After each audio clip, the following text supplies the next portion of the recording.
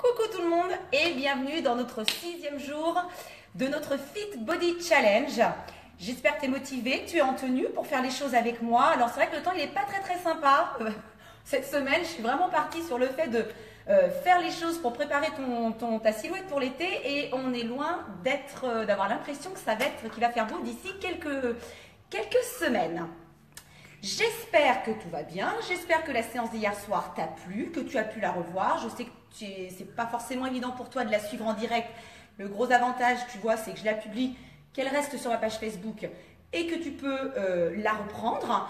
Et donc, sur ce sixième jour, je te propose, bah, comme mercredi, un travail de la ceinture abdo-lombaire. Alors, c'est vrai que je suis revenue, moi, dans ma salle de cours, mais je veux vraiment te prouver qu'il est tout à fait possible de faire du sport à la maison. Le gros avantage de faire du sport à la maison, c'est quand on veut, quand on peut.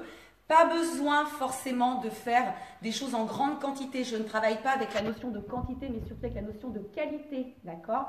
Être super pertinent sur le choix des exercices. Optimiser les exercices en les faisant vraiment correctement, c'est très très important. Donc je suis revenue dans la salle de cours, mais tu peux très bien être chez toi, euh, près, de, près de ton feu de cheminée. Il te suffit d'être en tenue, d'accord? Pas besoin de matériel.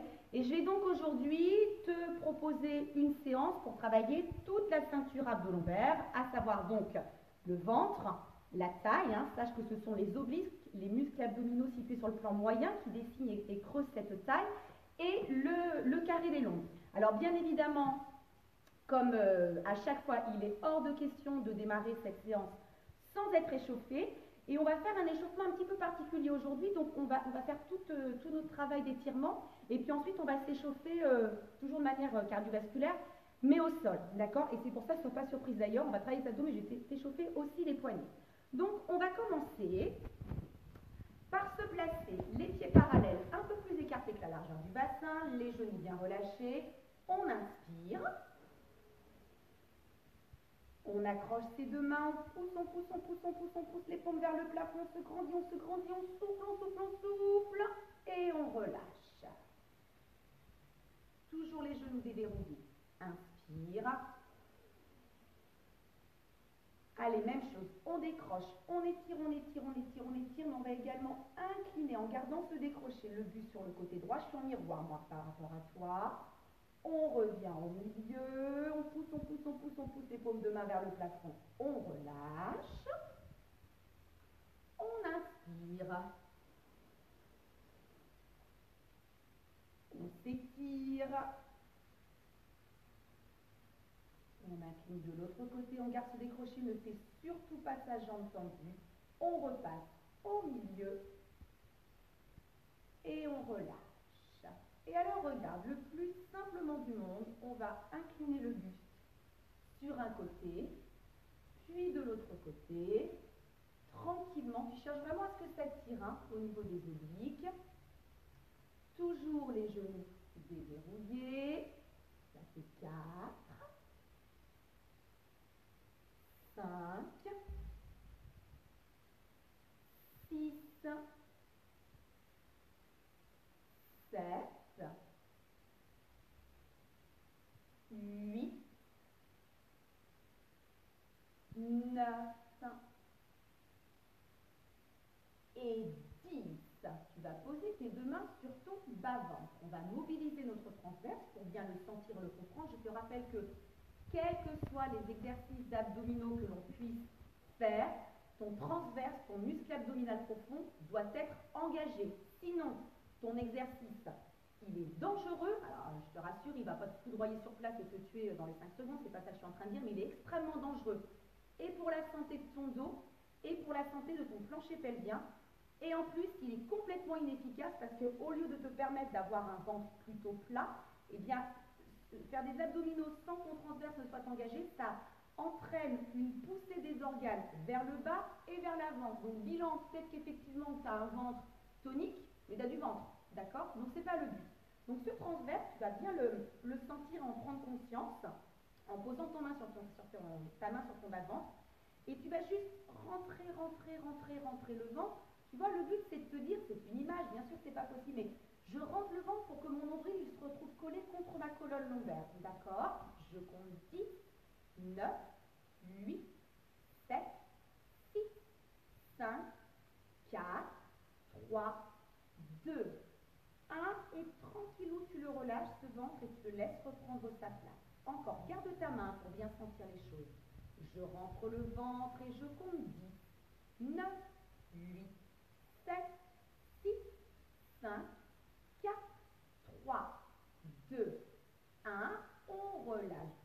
Troisième passage.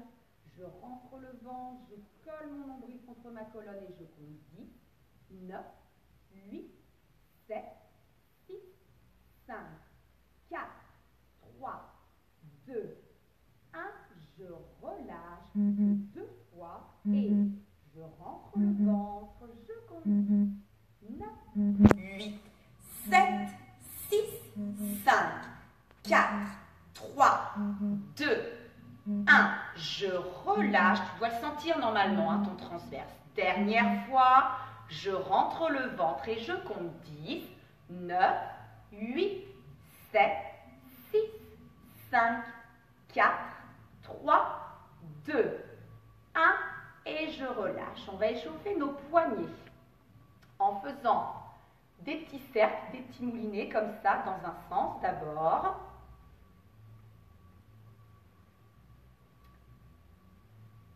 Et puis dans l'autre. Alors on fait ça parce que toute la partie cardiovasculaire, elle va se passer en appui hein, sur les deux mains. Ok On va également étirer. Alors regarde bien, tu vas retourner comme ça ta paume de main, tu vas attraper tous tes doigts avec l'autre et tu vas tirer, tirer, tirer, tirer. Donc toujours faire les choses intelligemment. On peut très bien faire du sport à la maison en faisant les choses correctement, d'accord? C'est pas parce que tu fais les choses euh, chez toi qu'il faut effectivement faire n'importe quoi, te faire du mal. Donc on passe bien par toutes les étapes. Donc ce que l'on appelle en danse la patte de chat, tu attrapes tous tes doigts et tu tires. Et on va faire la même chose avec la main gauche. Allez, premier étirement. J'attrape tous mes doigts, je tire, je tire, je tire. Il faut que tu sentes que ça tire, mais il ne faut pas que ce soit non plus euh, la torture. Hein. D'accord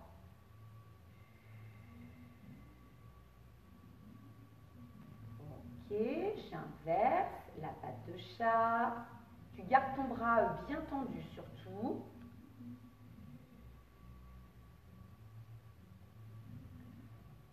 Super. Alors, on va passer au sol. On est toujours sur notre phase d'échauffement, d'accord? Et regarde bien. On va faire ce que l'on appelle du mountain climber. Donc, je te montre.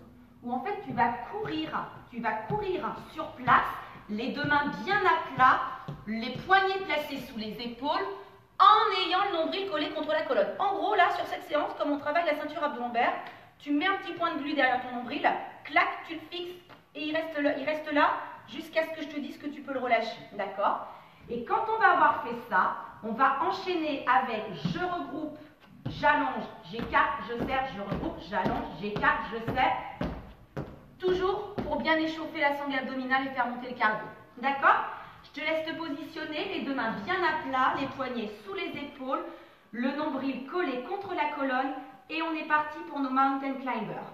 1, 2, 3, 4, 5, 6, 7, 8, 9, 10, 11, 12, 13, 14, 15, 16, 17, 18, 19, 20, 21, 22, 23, 24, 25, 26, 27, 28, 29 et 30.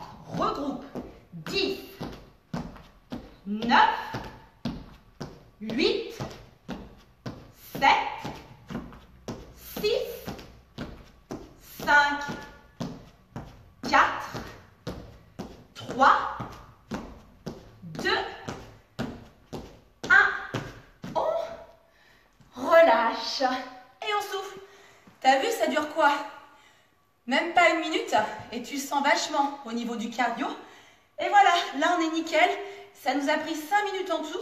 On est vraiment nickel pour démarrer notre séance, d'accord?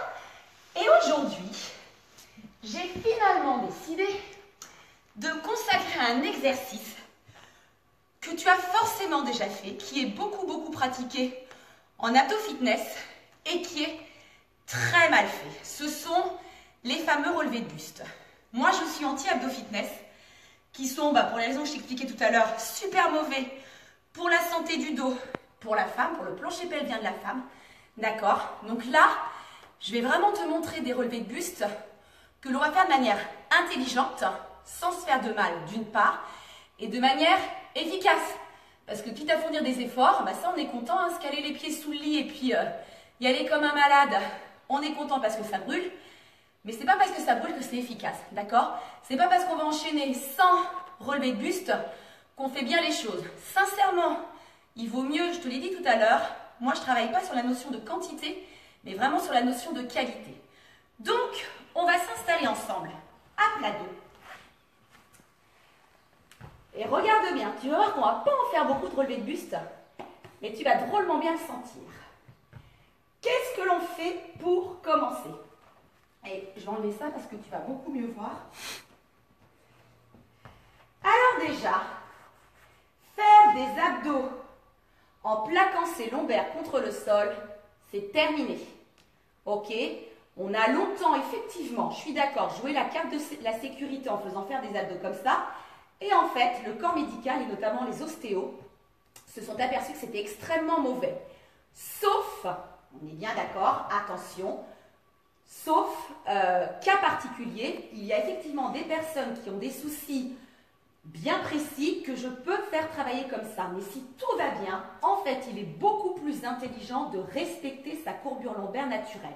Donc, en gros, quand tu t'installes à plat dos pour faire un travail de la sangle abdominale, tu vois, moi, je suis hyper complet, donc bien évidemment que les lombaires, ne touchent pas le sol, et bien, c'est pas grave. Ce qui est grave, c'est si pendant l'exercice, j'ai une sensation de pincement dans le bas du dos. Là, ce n'est pas bon. D'accord? Mais si je fais mon exercice d'abdos sans que mes lombaires ne touchent le sol et que tout va bien, et ben c'est beaucoup mieux. Je respecte ma cambrure lombaire naturelle. OK?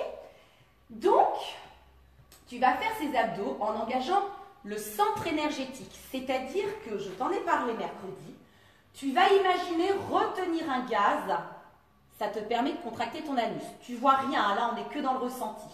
Tu vas aussi contracter ton périnée en imaginant retenir une envie de pipi. Et en dernier, et il y a un ordre précis, c'est cet ordre-là, tu vas contracter ton transverse pour coller ton nombril contre ta colonne. Ce centre-là, ce que j'appelle le centre, c'est donc l'engagement des muscles du plancher pelvien et du muscle abdominal profond. Tu vas impérativement devoir le garder contracté tout le temps de l'exercice. Donc, je vais régulièrement te le rappeler.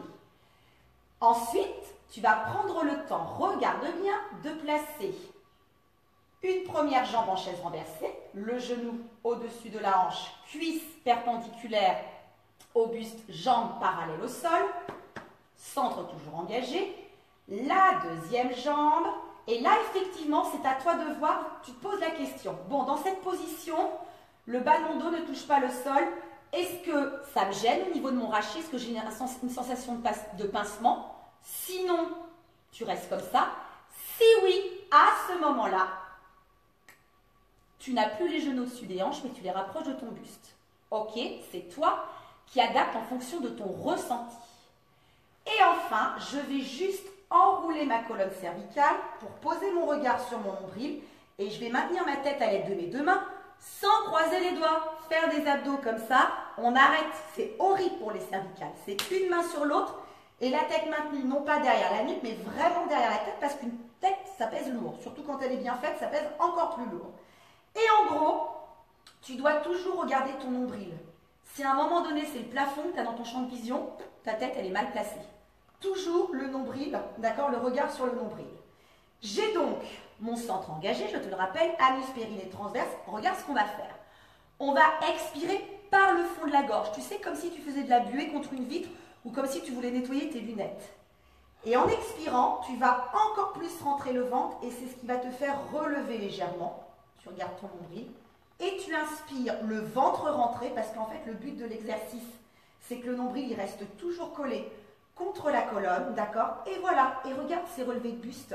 Je l'ai fait super doucement et tu vas voir que déjà au bout de 5, ça va vachement, tu vas vachement sentir le travail. Ok? On est parti toutes les deux? Allez, on en fait qu'un, ce sera déjà pas mal. Et expire. Inspire. Expire 2. Inspire, si ça tremble, c'est très très bien. Hein. Expire 3. Inspire. Expire 4. Inspire. Expire 5. Je te rappelle que tu as toujours le regard sur ton nombril, ton anus, ton périnée et ton transverse contracté. Expire 6. Inspire. Expire 7. Inspire. Expire 8. Inspire. Expire 9. Inspire. Expire 10. Inspire. Expire 11. Inspire. 12. Inspire. 13. Inspire. 14. Inspire. Et 15. Inspire et relâche. Et alors, ce que je t'invite à faire derrière ce genre d'exercice quand on a les jambes en chaise renversée, parce qu'il y a beaucoup d'exercices d'abdos avec ce, placement-là, c'est là, poser tes pieds à plat au sol. Je mets mes bras comme ça pour que tu puisses bien voir. Et là, pour le coup, tu t'efforces d'écraser tes lombaires par terre comme on a pu le faire jeudi pour euh, l'exercice des montées, de bassin, du breath. Et ça, ça te permet d'étirer ta charnière lombo-sacrée, d'accord?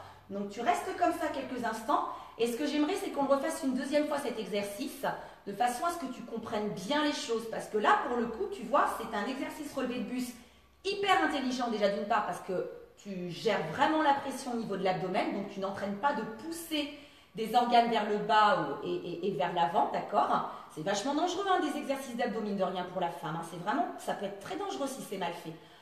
Tout ce qui est problème de lombalgie, c'est pareil. En général, c'est souvent dû à euh, un, manque d'abdominaux. Mais si tu fais des abdos qui tirent sur ta colonne lombaire, bah, tu résoudras jamais ton problème de lombalgie, d'accord? Là, on est vraiment sur un exercice intelligent d'une part, efficace d'autre part. Tu as vu, on a fait 15 répétitions. Je sais pas si tu as remarqué à quel point ça peut brûler au niveau de, au niveau de la sangle abdominale. Alors, on va se replacer, donc on va relâcher cette rétroversion. Donc tu dois te sentir installé sur ton sacrum. Quand tu es installé sur ton sacrum, tu sais que tu travailles en respectant ta cambrure lombaire naturelle. C'est le plus important, ok? Notre, euh, petite euh, routine, je contracte d'abord mon anus en imaginant retenir un gaz. Je contracte ensuite mon périnée en imaginant retenir une envie de pipi. Et je contracte enfin mon transverse, mon muscle abdominal profond en rentrant bien le ventre. Je prends le temps de placer une première jambe en chaise renversée, la deuxième jambe en chaise renversée. Je me pose la question, le bas de mon dos n'est pas plaqué, est-ce que ça me gêne au niveau de mon rachis ou pas? Si ça ne me gêne pas, je reste ainsi. Si oui, effectivement, j'ai une sensation de gêne, je rapproche mes deux genoux de mon buste. Ensuite, quand j'ai vérifié tout ça, je place mon regard sans lâcher le centre, mes deux mains sans croiser les doigts et on est reparti. Inspire le ventre rentré. Expire. Ça fait un. Inspire, tu regardes toujours le nombril. Expire deux. Inspire. Expire 3. Inspire. Expire 4. Inspire. Expire 5. Inspire. Expire 6. Inspire. Expire 7. Vérifie que ton anus, ton périnée, ton transverse sont toujours bien contractés. Expire 8. Inspire. Expire 9. Attention, tu n'as pas la tête rejetée en arrière, le regard au plafond, mais la colonne cervicale toujours bien enroulée, le regard sur le nombril. Expire 10. Inspire. 11. Inspire. 12. Inspire. 13. Inspire. 14. Inspire. Et 15. Et on relâche. On pose un pied après l'autre à plat au sol. On écrase le bas de son dos contre son tapis pour pouvoir récupérer. Si tu as l'envie de reprendre cet exercice une troisième, voire une quatrième fois, libre à toi. Moi, je t'invite juste, juste à faire une petite pause, ok, pour boire. Personnellement, j'en ai terminé pour aujourd'hui. On va faire très attention à la manière dont on vient se relever. Donc, tu vois, voilà, je te prouve une fois de plus qu'on peut, euh, à partir du moment où on sélectionne correctement ces exercices, qu'on met les choses en place correctement, il n'y a aucune raison, effectivement, un, que tu te fasses mal et deux, que tu n'aies pas de résultat. Néanmoins, sache aussi une chose, c'est que seule la rigueur et la persévérance paient. Il est hyper important, effectivement, que tu sois aussi régulière et constante euh, dans, tes séances pour effectivement avoir des résultats. Sans forcément faire quelque chose tous les jours, sans forcément faire des séances qui durent une plombe. Il vaut mieux en faire moins, mais le faire bien, d'accord? Mais rester rigoureuse constante et persévérante et je t'assure que ça, que, que ça paie. J'en ai terminé pour aujourd'hui. Je te rappelle donc que si tu souhaites effectivement continuer à préparer ta silhouette pour l'été, à dessiner un super corps fit, ferme et musclé, eh bien tu auras accès euh, à mon Fit Body Programme qui est un programme sur 8 semaines, d'accord, euh, découpé en 4 séances courtes. Vraiment, ce sont des séances courtes parce que toi comme moi, on n'a pas spécialement beaucoup de temps euh, à se consacrer, des séances que tu peux faire sans aucun problème à la maison qui ne nécessitent pas euh, de matériel et des séances donc que l'on fait bah, comme là, toi et moi, c'est-à-dire que je te place, je te positionne, je fais les choses avec toi, je te motive, je, je t'indique les choses, d'accord? Ainsi de suite comme ça sur 8 semaines avec des séances différentes à chaque fois, mais je t'en parlerai un petit peu plus après. Je te laisse là pour aujourd'hui. Je te souhaite une très très belle journée me concernant. J'ai l'impression que ça va être sous la grisaille et sous la pluie. Attention, c'est pas terminé. On se retrouve demain. Et demain, je te réserve une petite surprise. Rendez-vous 11h, d'accord? Comme aujourd'hui, tu mets ta tenue. On fait les choses ensemble. Et demain, on va travailler la silhouette de la tête, de la tête au pied, d'accord? Tout va y passer. Je te souhaite une super belle journée, je te fais plein de gros bisous et à demain à 11h.